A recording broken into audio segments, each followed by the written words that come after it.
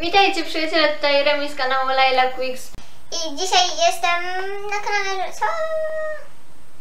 i dzisiaj chcę nakręcić Harry Potter Butek, do którego nominowała mnie Alicja z kanału Aliska Czyta, więc e, dzięki bardzo Alicja. Yy, planowałam robić ten tak od dawna, a teraz mam wymówkę. I nie muszę być takim samotnym, smutnym człowiekiem, którego ludzie nie nominują, więc dzięki, doceniam. Aha, jeszcze tylko zaznaczę, że będę się przebierać w trakcie, ponieważ mam dużo ubrań z Harry'ego Pottera i nie mogę się zdecydować, które byłoby najbardziej odpowiednie dla kręcenia tego tagu, więc tak. Aktualnie mam na sobie koszulkę z Hufflepuffu, która jest bardzo stara i no, zaraz się wszystkiego dowiecie. Aha, jeszcze zanim zacznę, to muszę koniecznie powiedzieć, że będą tu spoilery i to dość duże, więc jeżeli nie czytaliście jeszcze całej serii, to najlepiej na razie podarujcie sobie ten filmik. Pytanie pierwsze w tym tagu to ulubione książki z serii. No i wiadomo, nie mam tak stricte ulubionych książek, które po prostu są o niebo lepsze niż wszystkie inne, ale tak na pierwszą myśl y, są to Harry Potter i Insygnia Śmierci oraz Harry Potter i Zakon Feniksa. Nie wiem dlaczego tak jakoś mi przychodzą do głowy obie te książki. Pamiętam, że właśnie czytając Insygnię byłam bardzo zafascynowana. W sumie nawet nie pamiętam czym, bo tam się nie dzieje aż tak dużo. W każdym razie coś mi się w niej podobało. To było strasznie dawno temu, naprawdę muszę przeczytać koniecznie te książki po raz kolejny jak najszybciej. Bo nie wytrzymam, bo nic nie pamiętam i to takie stresujące. A Zakon Feniksa, kiedy czytałam go pierwszy raz, nie podobał mi się wcale. W sensie podobało mi się najmniej serii. Miałam wtedy jakieś 8 lat, no to wiadomo. Kiedy czytałam go po raz drugi, to doceniłam to, że jest tak gruby, doceniłam to nawet, że aż tak wiele się tam nie dzieje, bo to głównie są te takie jakieś tam problemy z rządem, problemy z tą Umbridge, potem dopiero wchodzi ten wątek przepowiedni, więc yy, jakoś tak, nie wiem, za drugim razem bardziej mi się to spodobało. I jeszcze jak wszyscy mówią, że ta część jest najgorsza, bo tam Harry jest taki zagniewany, takim typowym nastolatkiem i w ogóle, to ej, ludzie, ludzie, czy wy nigdy nie mieliście 15 lat? Bo ja mam prawie 16 i obiecuję wam, że odwalam gorsze rzeczy niż Harry, chociaż mam mniej problemów i mniej odpowiedzialności na swojej głowie. Dawni przyjaciele mnie nie wystawiają do wiatru przez, nie wiem, to, że rząd im powiedział, że jestem zła, cokolwiek. Po prostu, halo, to tak wygląda 15-latek. I akurat za to bardzo doceniam tę część właśnie, że jest dość realistyczna, jeżeli o to chodzi, bo naprawdę, naprawdę bycie nastolatkiem nie jest łatwe. Następne pytanie to ulubiona część filmów. I dla mnie najfajniejszą częścią w filmach jest Harry Potter i więzienia z kabanu. Ponieważ wchodzą tam moje maleństwa, moje dzieci, całe moje życie, moje po prostu światło słońca, księżyc i gwiazdy, a mianowicie Sirius Black i Remus Lupin, których kocham nad życie i naprawdę, naprawdę kocham ich nad życie. Te sceny z nimi to jest coś pięknego. I mimo, że no wiadomo, na początku sądzimy, że Sirius jest kryminalistą, że jest zły, że chce zabić Harego i w ogóle, ale to mi nie przeszkadza, bo ja znam prawdę. Ja wiem, ja wiem, że on jest dobrym człowiekiem. Oprócz tego moje shipperskie serduszko oczywiście puka mocniej, ponieważ nie wiem czy o tym wiecie, ale Wolfstar, czyli właśnie Sirius Remus, to moje absolutne OTP. Największe OTP, jakie miałam w życiu. Skoro już się kompromituję, to mogę wam powiedzieć, że jakiś rok temu miałam taki okres w życiu, kiedy co, dosłownie codziennie wchodziłam na Tumblera i sprawdzałam tag Wolfstar w poszukiwaniu nowych, nowych postów, nowych zdjęć, nowych rysunków, fanartów, fanfików i wszystkiego. Chociaż właśnie zaskakująco mało fanfików przeczytałam, bo ja ogólnie tak średnio czytam fanfiki. Ale jeżeli już je czytam, jeżeli już je piszę, to zazwyczaj właśnie chodzi o tę parę, moje dzieci. Ugh. I w ogóle kocham wszystkich hunspotów. Gdybym wiedziała, gdzie jest, to teraz miałabym na sobie koszulkę z napisem I solemnly swear I'm up to no good, ale nie mam pojęcia, gdzie się podziała, więc mm, no sorry, nie? Dobra, tak, to wystarczy, nie musicie wiedzieć wszystkiego o moim fandomowym życiu, okej, dobra, spoko, już, już się uspokajam. Trzecie pytanie to najmniej lubiana książka. I ja, szczerze mówiąc, najmniej lubię dwie pierwsze części, czyli Harry Potter i Kamień Filozoficzny oraz Harry Potter i Komnatę Tajemnic. Nawet nie wiem dlaczego, po prostu jakoś rozumiem, że to jest początek, że tutaj odkrywamy ten świat i że po raz pierwszy towarzyszymy Harrymu w jego przygodach, ale jakoś tak nie przekonuje mnie tak mocno jak cała reszta i zasadniczo sądzę, że właśnie od trzeciej części mniej więcej to się wszystko rozkręca, robi się ciekawiej, robi się e, po prostu lepiej. No i też trochę bardziej realistyczniej, bo już prędzej uwierzę w to, że czternastolatek em, potrafił prawie wygrać tru- turniej trójmagiczny niż w to, że jedenastolatek potrafił bez żadnych skrupułów, bez, bez wyrzutów sumienia zamordować swojego nauczyciela. No i swoją drogą zawsze mnie szlak trafia na początku kamienia filo- filozoficznego, ponieważ cholera jasna, Dumbledore, czy ty jesteś zdrowy na umyśle? Zostawiasz roczne dziecko na całą noc w listopadzie na dworze, przykrytego tylko jakimś śmiesznym kocykiem i liczysz na to, że jego wujkowie, którzy nienawidzą jego części rodziny, się nim zaopiekują dobrze? Naprawdę? Naprawdę, Dumbledore?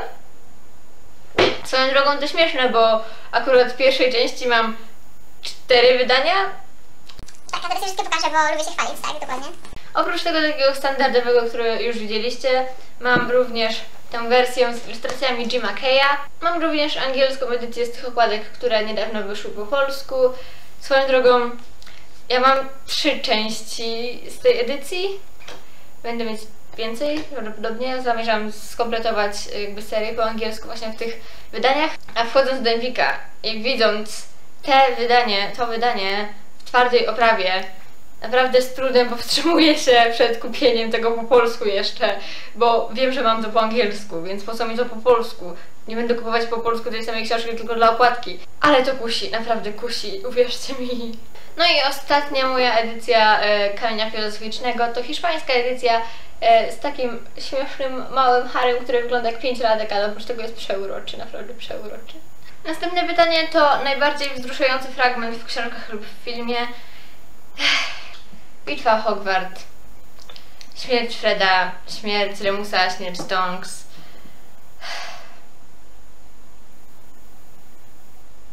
Patrzcie, zmiana garderoby. Uuu, teraz mam na sobie bluzę z napisem It's Leviosa, not Leviosa, którą dostałam od moich przyjaciółek Oliwii i Martyny na któreś urodziny, nie pamiętam kiedy to było. Ale y, w tym momencie muszę je pozdrowić. Pozdrawiam Was, kocham Was. Do zobaczenia w czwartek. Kolejne pytanie to to pytanie, którego Aliska nie chciała przetłumaczyć. A ja będę się śmiać, będę się śmiać. Gdybyś mógł spiknąć się z którymś z bohaterów, kto to by był? Kto by to był? Kto by to był? To bardzo fajne słówko, spiknąć się. Muszę używać go częściej. To bardzo trudne pytanie, nie mam pojęcia. Wait a second. Ginny. Ginny Weasley. Ginny. Naprawdę. Ja nie żartuję w tym. Definitywnie Ginny. Pytanie szóste, czyli ulubione postaci. Teraz, teraz się zacznie jazda. Więc jak już wiecie z poprzednich pytań, kocham Huncfotów. Naprawdę kocham ich całym sercem. I tak waham się całe życie pomiędzy chcę wiedzieć o nich więcej, Rowling napisz o nich więcej, a Rowling nie dotykaj, bo zepsujesz. Bo ja wiem, że to, przepraszam za wyrażenie, spieprzy. Wszyscy będą biali, wszyscy będą hetero, wszyscy będą nudnymi dupkami, ewentualnie może potem tak nagle, jakby go błyskawica po prostu uderzyła, James z dupka stanie się dobrym człowiekiem i, i tyle po, po, po sprawie, nie? Tak, ja, ja nie chcę tego widzieć. Nie mam zamiaru o tym słyszeć. Więc y, lepiej, żeby Rowling tego nie dotykała. Więc oczywiście kocham Huncfotów najbardziej. Nie, nie najbardziej, nie, nie będę wybierać ulubieńców, bo to się źle skończy. Kocham Ginny, naprawdę kocham Ginny i uważam, że jest jedną z najsilniejszych postaci w całej serii, bo okej, posłuchajcie mnie. Laska, która wychowuje się z szóstką braci. Wszyscy są od niej starsi, do tego wychowują się w biedzie, tak? No może to nie jest jakaś skrajna bieda i po prostu, o Boże, opieka społeczna, ale mimo wszystko, no nie są bogaci, tak? Więc wychowuje się w biedzie. Podczas jej pierwszego roku w Hogwarcie zostaje praktycznie opętana przez samego Voldemorta. Naprawdę opętana przez Voldemorta, bo to właśnie się tam stało. I jednocześnie ten Voldemort wykorzystuje ją emocjonalnie, sprawia, że ona zaczyna mu ufać i że uważa go za swojego przyjaciela. I potem dowiaduje się, że to Voldemort i że chciał zrobić jej krzywdę, że chciał ją zabić. Więc to jest, to jest trauma, to jest szok. A mimo wszystko Ginny zamiast dalej być taką nieogarniętą szarą myszką, jak była w pierwszej części, kiedy właśnie zajmowała się głównie Voldemortem, albo zamiast e, przestać ufać w ogóle wszystkim, których pozna, ona wciąż jest sobą, jest naprawdę fajną dziewczyną, e, zdobywa przyjaciół, staje się jedną z najpopularniejszych dziewczyn w szkole. E, Chłopcy się za nią uganiają, zapomina nawet o swoim crushu na Harym, e, który miała i który prawdopodobnie miała przez cały czas, ale mimo wszystko stara się o tym zapomnieć, bo zdaje sobie sprawę, że nic z tego nie wyjdzie i po prostu żyje dalej. I to jest tak piękne i ja kocham Ginny. Jej teksty, y, to, że jest tak świetna w Quidditcha, to wszystko sprawia, że kocham ją tylko bardziej i bardziej. Więc tak, definitywnie Ginny Weasley jest świetną postacią i e, tylko w filmach ją spieprzyli. Znowu to słowo, przepraszam wszystkich wrażliwców na przekleństwa. To się będzie zdarzać, jeżeli będę mówić o Harry Potterze, bo mam dużo do powiedzenia o Harry Potterze i bardzo emocjonuje mnie to, co mówię, więc będę przeklinać, przepraszam. W filmach totalnie ją spłaszczyli, jest tylko tą lalką, która łazi za Harrym. Ta scena, gdzie wiążą mu sznurówki. What the fuck? What the fuck? Dobra, nie, nie o tym jest film, nie? No i oczywiście lubię trio, y, główne y, trio, złote trio ym, o, i mojego synka Neville'a, kocham go. Pytanie siódme to jaką postać miałby twój patronus? I tak się właśnie waham pomiędzy kotem, bo jestem leniwa i lubię koty, a świnią, bo zawsze się czymś uwalę jak jem, a świnki są przeurocze, może nie jestem przeurocza, ale pytanie ósme, które z insygniów chciałbyś posiadać? Szczerze to żadnych, a jeżeli już to pelerynia niewidka, bo jest najbardziej nieszkodliwa i nikt mnie za nią nie zabije prawdopodobnie.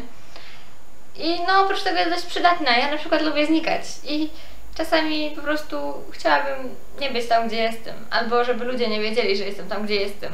Więc tak, to definitywnie byłoby przydatne. Pytanie dziewiąte. W którym domu jesteś? Dajcie mi momencik. Ravenclaw! Dobra, jak już się pochwaliłam czapką i szalikiem, to chyba to zdejmę, bo się kompletnie ugotuję. Jest lato. Dzisiaj miało być 29 stopni, ja nie chcę, ja nie chcę w tym siedzieć. Swoją drogą, ta koszulka nie jest stricte z Harry'ego Pottera, ale ma na sobie takie małe orzełki i węże i swoją drogą ten orzeł zjada tego węża, co jest śmieszne i przepraszam moich Slytherinowych przyjaciół, których mam kilku. Um, przepraszam, to nic osobistego, ale uznałam, że jest fajna i że taka trochę właśnie w kolorach Ravenclaw, więc ją mam i założyłam. I teraz tak, historia mojego przydziału, więc Pottermore całe życie mówiło mi, że jestem w Hufflepuffie, chyba że czasami się zdarza, e, że on na końcu sam nie może zdecydować i pyta się, do którego domu cię wsadzić. I właśnie miałam wybór pomiędzy Ravenclaw i Hufflepuffem. Więc zasadniczo właśnie jestem tak mniej więcej pół na pół. E, uznaję się za Ravenclaw, bo kiedy siedziałabym na tym stołku z tiarą przydziału, to pewnie bym nie spytała, gdzie wolę być.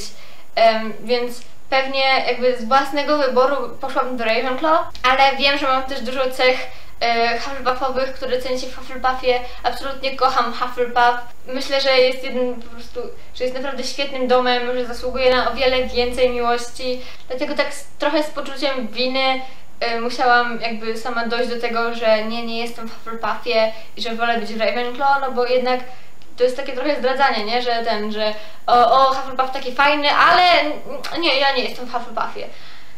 Zasadniczo, jeżeli robię ten test, który jest gdzieś tam w internecie, który ma wszystkie pytania z Pottermore, który Ci jeszcze pokazuje w procentach, e, ile procent w jakim domu jakby jesteś, to wychodzi mi jednak większość Ravenclaw i tam tak właśnie, to jest tak minimalnie, nie? Że jakieś 60% Ravenclaw i 40% Hufflepuffu, coś mniej więcej w tym stylu. I szczerze Wam powiem, że kocham Ravenclaw, kocham to, jak zróżnicowani możemy być, bo Ravenclaw, owszem, ceni sobie mądrość, ceni sobie wiedzę, ale oprócz tego ceni sobie indywidualność, a jest tyle różnych sposobów, żeby być inteligentnym, żeby być mądrym, żeby zdobywać wiedzę. Można na przykład mieć wywalone kompletnie na szkołę i interesować się tylko Harry Potterem, jak ja.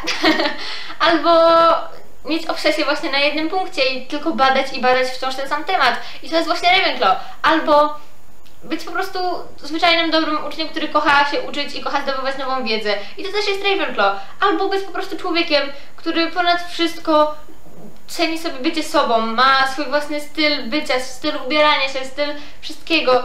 I jest właśnie w Ravenclaw, a w ogóle to wszyscy tam jakby szanują to, że każdy jest inny i, i jest, ten dom jest chyba najbardziej otwartym domem y, w Hogwarcie i właśnie to jest takie, to jest coś, co jest dla mnie bardzo ważne, takie jakby uznawanie czyjejś indywidualności, uznawanie tego, że ktoś jest inny od nas i po prostu pozwalanie mu na życie tej samej rzeczywistości i nie wchodzenie sobie w drogę, to jest naprawdę bardzo fajne i bardzo mnie cieszy, że właśnie w tym domu bym była.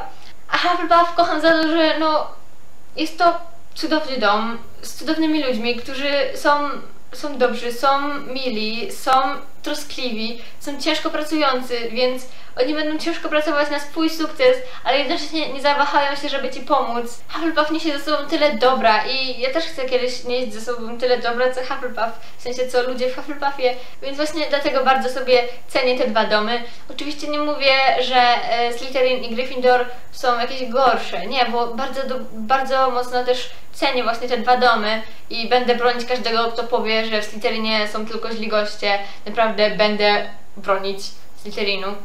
Ale jakoś tak Ravenclaw i Hufflepuff są mi bardzo bliskie i ten. Właśnie dlatego mam koszulkę z Hufflepuffu, mimo że nie jestem w Hufflepuffie. Miałam ten okres, kiedy jeszcze wierzyłam Pottermore tak na ślepo i to było takie dobre, skoro mówi, że w Hufflepuffie, to muszę być w Hufflepuffie. Mimo, że czułam, że coś jest nie tak, nie? Swoją drogą w tym momencie ponownie pozdrawiam Martynę, która jest Hufflepuffem i która odkryła to, że jest Hufflepuffem ze mną w mojej obecności. Cudowna chwila. Oliwia oczywiście też pozdrawiam, ale wiesz, ty jesteś w Gryffindorze, ty w ogóle spadaj. Ty masz wszystko. Dziesiąte pytanie, to gdybyś mógł poznać kogoś z obsady, to kogo? Bardzo chciałabym porozmawiać z Emmą Watson e, na, na temat tego, co ona robi, jeżeli chodzi właśnie o feminizm i takie rzeczy. Oprócz tego oczywiście z Danielem Radcliffe'em, bo wydaje się naprawdę bardzo zabawnym, fajnym człowiekiem. No i z, z Maggie Smith, która grała e, McGonagall, którą kocham, kocham McGonagall i kocham Maggie Smith, więc myślę, że to byłoby bardzo fajne spotkanie. Pytanie 11, czyli czy grałeś kiedyś w gry związane z światem Harry'ego Pottera?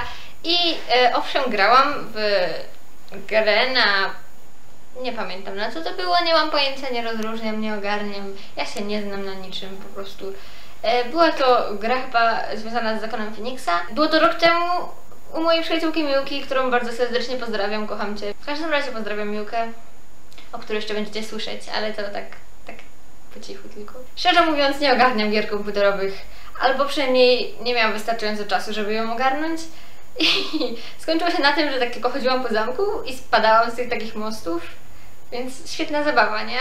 Chociaż był tam Syriusz, więc zawsze coś. Pytanie 12. Na jakiej pozycji grałbyś w Quidditchu? Um, na żadnej? Na trybunach? Ja naprawdę nie nadaję się do sportów, a nie mam pojęcia o Quidditchu, okej? Okay? To pytanie. Ale mam na sobie sweter do Quidditcha. Tak! Bardzo, bardzo pasująco, zwłaszcza, że jest to sweter Gryffindoru, a jestem Ravenclaw. Pozdrawiam.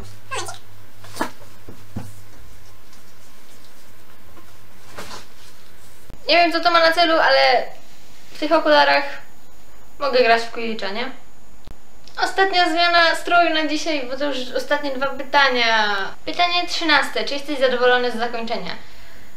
Powiedzmy, że tak, to znaczy chętnie usłyszałabym więcej o nowej generacji, następnej generacji, o y, dzieciach wszystkich naszych ukochanych bohaterów, ale nie w taki sposób, w jaki to będzie ukazane w The Cursed Child, ponieważ słyszałam spoilery i bardzo nie podoba mi się fabuła i to, co się tam dzieje, o czym będę prawdopodobnie jeszcze mówić, kiedy w końcu przeczytam książkę, w sensie ten scenariusz i wszystko. Nie uwierzę w to, że syn Harry'ego Pottera go nienawidzi i nie wierzę też w to, co, to, że, co scenarzyści postanowili zrobić jakby z fabułą i z tą pewną osobą, która tam jest jako ta zła osoba, bo to jest po prostu, to jest żart. Ale zasadniczo powiedzmy, że jestem zadowolona tak właśnie chętnie usłyszałam więcej o następnej generacji, bo kocham Tediego Lupina, mimo że praktycznie go tam nie ma.